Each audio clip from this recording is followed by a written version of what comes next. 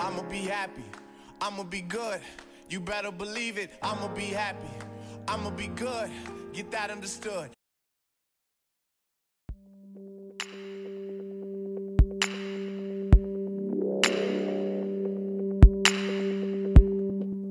Hi everyone, it's your girl Amina Mahogany back again for another video.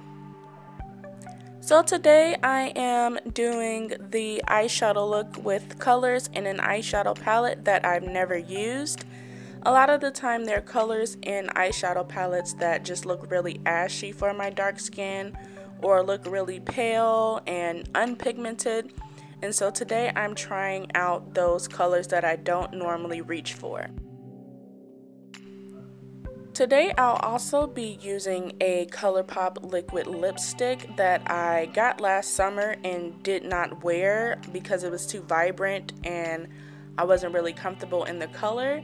So let's see what today's look looks like. Um, right here it kind of looks like it's going left because you can barely see that color and it literally just looks like a ashy hot mess but Let's see where this takes us. Thanks for watching.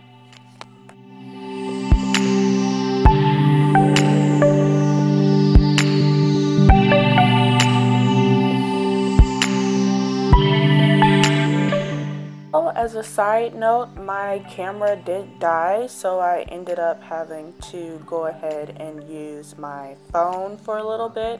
So if you see that the quality is different, in some areas of the video, that's why.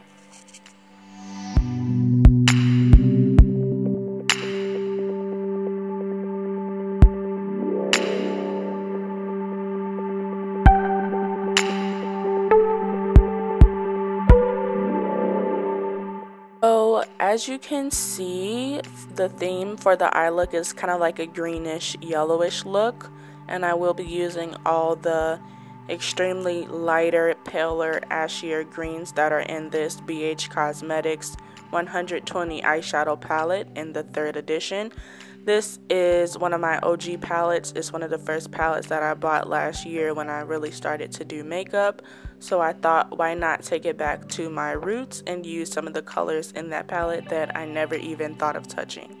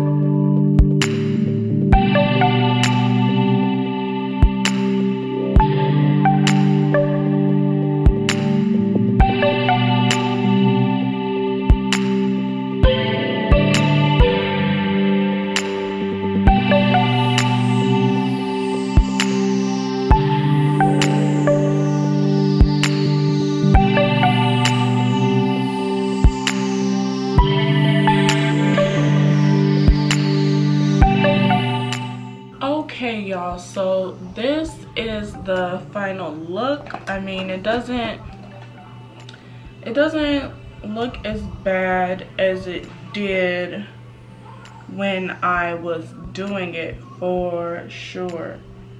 Um, But yeah, this is it.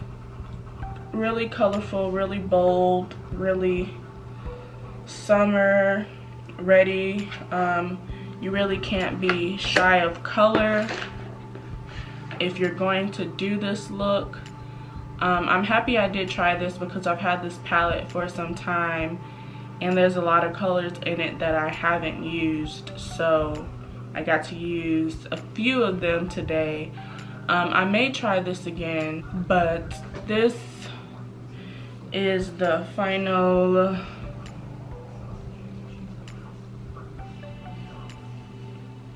the final look um, yeah so all the um, details will be in the description. I would say this isn't a 100 percent fail and it's decent.